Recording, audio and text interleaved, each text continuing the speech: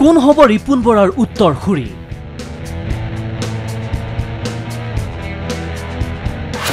পৰৱৰ্তী সভাপতি হিচাপে চৰ্চাত কোন কোন? কেতিয়া সলনি হ'ব প্ৰদেশ কংগ্ৰেছৰ সভাপতি? বিধানসভা নিৰ্বাচনত পৰাজয়ৰ নৈতিক দায়িত্ব স্বীকাৰ কৰি ৰিপুণ বৰাই পদত্যাগ কৰাৰ পিছত প্ৰদেশ কংগ্ৰেছৰ সভাপতি সলনি অৱধাৰিত হৈ পৰিছে। এনে পৰিপ্ৰেক্ষিততে ৰিপুণ বৰাৰ উত্তৰসূৰী কোন হ'ব? কেতিয়া হাইকমাণ্ডে নতুন সভাপতি নিযুক্তি দিব? আদি বিষয়ক লৈ কংগ্ৰেছ মহলত সম্প্ৰতি চলি আছে ব্যাপক চৰ্চা। সভাপতি পদৰ বাবে হাইকমাণ্ডৰ বিবেচনাত তিনি নেতাৰ নাম। কংগ্ৰেছৰ এক উচ্চস্তৰীয় সূত্ৰই প্ৰকাশ কৰিছে এই কথা। সূত্ৰটোৰ মতে ভূপেন বৰা প্ৰদ্যুৎ বৰদলৈ বা দেৱব্ৰত শইকীয়া হ'ব পৰৱৰ্তী সভাপতি।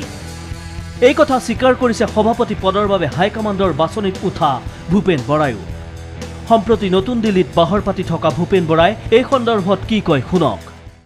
আমাৰ নগাঁৱৰ সাংসদ অদূত বৰদলৈ ডাঙৰীয়া আৰু আমাৰ C L P leader Debabrata Saikia আৰু মোৰ নাম। হাইকমাণ্ডে বিভিন্ন আমাৰ অসমৰ নেতা কৰ্মীসকলৰ লগত আলোচনা কৰি আছে। ভূপেন বৰাই আনকি এই কথাও ক'লে যে হাইকমাণ্ডে দিলে সভাপতি পদ গ্ৰহণ কৰিবলৈ তেওঁ সাজু।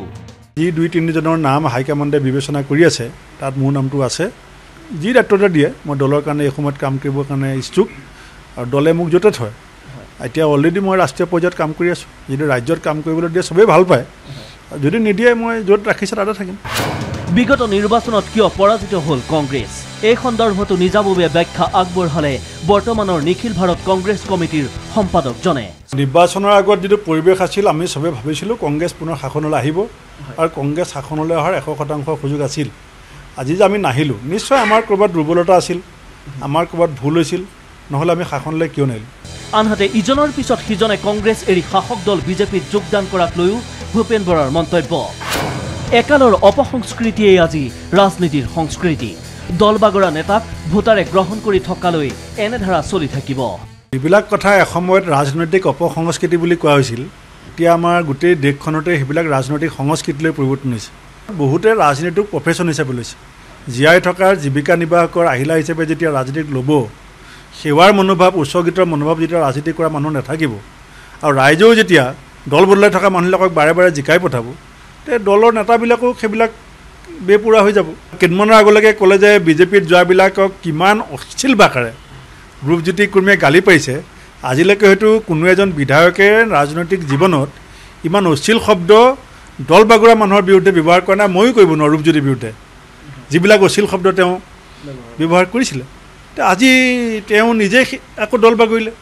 বিৰোধীৰ নেতা বিধায়কক দল বাগৰিবলৈ স্বয়ং মুখ্যমন্ত্ৰী হিমন্ত বিশ্ব শৰ্মায়ো প্ৰৰোচিত কৰা বুলি অভিযোগ আনিলে ভূপেন বৰাই।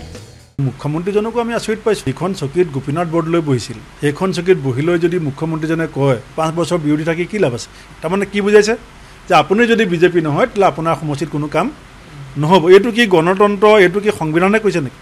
এতিয়া গণতান্ত্ৰিক পৰম্পৰাৰ প্ৰতি সংবিধানৰ প্ৰতি মুখ্যমন্ত্ৰীগৰাকীৰ যিটো ভুকুটি তেওঁৰ যিটো ভেঙুচালি এইটোৱে অসমত এক অতি মানে ভয়ংকৰ পৰিস্থিতিৰ ফালে লৈ গৈ আছে।